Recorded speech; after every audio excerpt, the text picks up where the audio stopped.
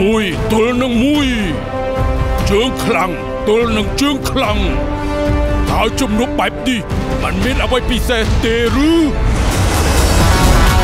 កម្មវិធីប្រឡងចម្រៀង Cambodian Idol រដូវកាលទី5ឥឡូវនេះកំពុងតែបោះជំហានដល់វគ្គមីហើយវគ្គ Hit Round ជុំទី2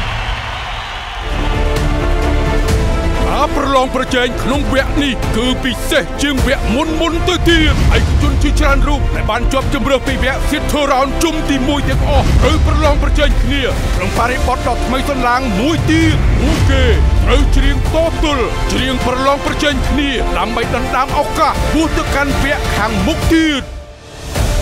រងចាំមើលថាតើក្នុងវគ្គដ៏ពិសេសនេះអ្នកខ្លាំងត្រូវប៉ះជាមួយអ្នកខ្លាំងហើយពួកគេត្រូវច្រៀងបទចម្រៀងអ្វី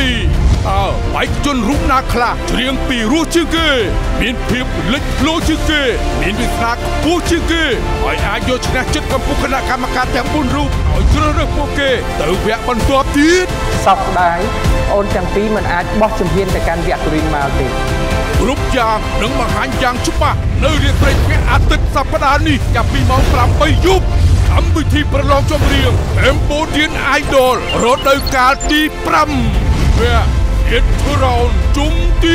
2នាំមកជូនផ្ដាច់មុខដោយ ស្រាបៀរគ្រុតពេលវេលាល្អពេលវេលាជាមួយគ្រុតពិសាដោយការទទួលខុសត្រូវគ្រុតឡៃរសជាតិស្រទន់ស្រស់បំផុតពិសាដោយការទទួលខុសត្រូវភេសជ្ជៈកីឡា V Active បំពេញជាតិទឹកបានល្អនិងលឿនជាងទឹកធម្មតា